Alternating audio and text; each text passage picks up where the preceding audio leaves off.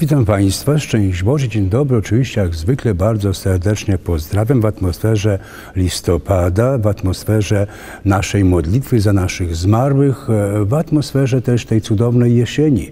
Kochani, pora doskonała, żeby pomyśleć o swoim życiu, o przemijaniu, o sensie tego życia, żeby pomyśleć właśnie o tym wszystkim także, co czeka nas śmier po śmierci, bo przecież wszyscy, jak to podkreślam, czy chcemy, czy nie chcemy, do śmierci zmierzamy. Jest dzisiaj 13 listopada, jest to dzień fatimski. Jak wiemy, każdy 13 dzień poszczególnego miesiąca jest takim dniem, bo właśnie w takim dniu, czyli 13, Matka Boża Fatimie objawiała się, a było to od 13 maja do 13 października. No ale e, my, chcąc bardziej tak Matko Boże, Matko Boże zauważyć i usłyszeć ją, patrzymy zawsze w każdym miesiącu na 13 dzień jako właśnie dzień fatimski. Poza tym jest to też 33 niedziela zwykła i proszę Państwa jest to 14 dzień Solidarności z Kościołem prześladowanym. To właśnie dzisiaj po raz 14 w naszej ojczyźnie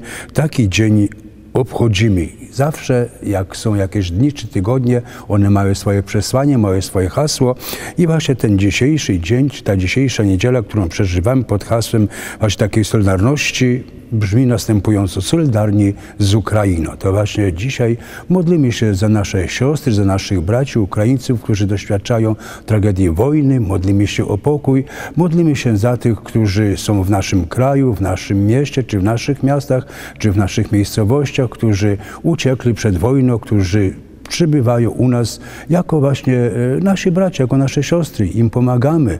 Nie tylko modlimy się za nich, ale im dajemy dach nad ich głową, ten dach, który został przez wojnę, przez tę właśnie tragedię, został zniszczony. Dlatego też e, modlimy się, jeszcze raz podkreślam, o pokój, żeby ten pokój jak najszybciej zaistniał i żeby ta straszna wojna też jak najszybciej, jak najszybciej zakończyła się. Jeżeli chodzi właśnie o taki Dzień Solidarności, to pamiętajmy, e, to jest właśnie Pols, pomoc Kościołowi w potrzebie. P KWP, tak to e, się nazywa i właśnie taka organizacja, to jest organizacja międzynarodowa, to nie tylko Polska, ale e, w ogóle, w ogóle w całym świecie, w całym Kościele katolickim jest to organizacja, która e, została, została powołana do życia w roku 1947 z siedzibą w Niemczech każdego roku jest właśnie e, taki dzień, a jak wiemy u nas w Polsce po raz, po raz 14. Dlatego też módlmy się, módlmy się o pokój, jeszcze raz podkreślam i dzisiaj też można wrzucić datek do skarbony na rzecz właśnie Ukrainy, na rzecz tych, którzy tej pomocy, naszej pomocy bardzo potrzebują. Owszem, pomocy duchowej, ale także pomocy materialnej, bo potrzebują chleba, potrzebują ubrania, potrzebują mieszkania. Zechciejmy otworzyć nasze serca. My czynimy to bardzo często i mamy bardzo wiele okazji ku temu, prawda? Bo, bo czasem niektórzy mówią, że już trochę może za dużo tych skarbonek, za dużo tych różnego rodzaju akcji. No jeżeli ktoś nie chce, niech się nie włącza. Jeżeli kogoś na to nie stać, też niech się nie włącza. W każdym razie kto może, niechaj pomoże, jak to powiada, powiada przysłowie. Proszę Państwa, jeżeli jest 13 listopada, to oznacza to, że już zmierzamy do końca Starego Roku Kościelnego. Dokładnie od dzisiaj za dwa tygodnie już rozpoczniemy nowy rok kościelny, rozpoczniemy go Adwentem, a od dzisiaj za tydzień będzie niedziela, ostatnia niedziela Starego Roku, kościelnego oczywiście roku, niedziela Chrystusa, Króla Wszechświata. Zatem właśnie zbliżamy się do zakończenia, a zawsze jak coś się kończy, to owszem coś się rozpoczyna i wtedy nam towarzyszy refleksja, też o przemijaniu, o przemijaniu postaci tego świata. E, gdy będziemy, bo przecież gdy byliśmy w kościele, to właśnie dzisiaj usłyszymy słowa Ewangelii według świętego Łukasza. Jak zwykle bardzo proszę o wysłuchanie tychże szacunkiem. Gdy niektórzy mówili o świątyni, że jest przyozdobiona pięknymi kamieniami i darami, Jezus powiedział, przyjdzie czas, kiedy z tego, na co patrzycie, nie zostanie kamień na kamieniu, który by nie był zwalony. Zapytali go nauczycielu, kiedy to nastąpi i jaki będzie znak, gdy się to zacznie. Jezus odpowiedział, strzeżcie się, żeby was nie zwiedziono. Wielu bowiem przyjdzie przed, przed moim imieniem i będą mówić, to ja jestem oraz nadszedł czas.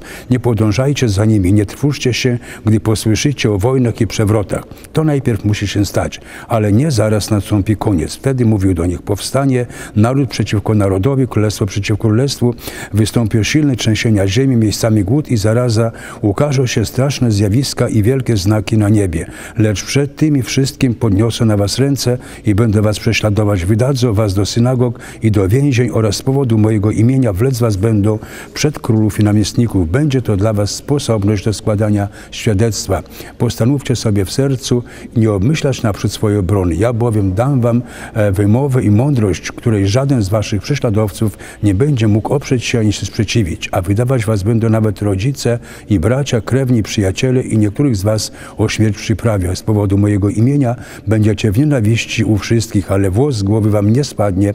Przez swoją wytrwałość ocalicie wasze życie. Kochani, Ewangelia jest taka bardzo trudna do zrozumienia. Jezus zapowiada prześladowanie swoich wyznawców, ale właśnie ta zapowiedź ma miejsce w atmosferze kończącego się, kończącego się starego e, roku, starego roku kościelnego, bo do zakończenia jeszcze starego roku kalendarzowego jeszcze trochę pozostało, prawda? Listopad to przez ostatni etap roku 2022 a tego też właśnie w atmosferze listopada, w atmosferze takiej myśli o przemijaniu, zechciejmy też pomyśleć poprzez właśnie podpowiedź, jaką nam dzisiaj sugeruje Jezus Chrystus, bo właśnie ten koniec nastąpi, tylko kiedy on nastąpi, jakie będą znaki i co się dziać zacznie. Oczywiście Chrystusa kiedyś pytano, kiedy będzie koniec świata, jest odpowiedź tak, w sposób taki dyplomatyczny, tego nie wie nikt, ani aniołowie w niebie, ani Syn Człowieczy, wie tylko Bóg. Także jest to tajemnica, dlatego też czuwajcie,